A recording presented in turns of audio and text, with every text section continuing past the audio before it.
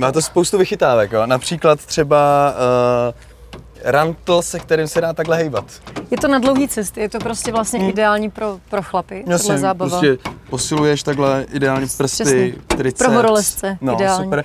A, tyč A pro hraní. je tady tyč samozřejmě uh, na tanec, protože když si táta hraje, tak máma tančí, že jo? Takže, takže je to celkem, je to vlastně takový trošku fitness auto. A když to celý takhle složí člověk potom, tak vlastně Ještě tě zjistí, že si s sebou třeba může i, i, tu, i nějaký tanečníky třeba vozit, jo? A Jo. když dá tohle sem, tak mu nevypadnou. Ne, to je dětská ohrádka. Když vozíš děti, Přesně, tak když jedeš po dálnici a máš Hmm. děti a chceš, aby si venku hráli, No, když je jdeš to moc bezpeč- rychle, je to úplně aby ideální. ti ne, neuletěl. Ale pak se mi taky líbí tvůj ovladač teda, takže můžeš to zavřít To teďka? samozřejmě velice ráda zavřu.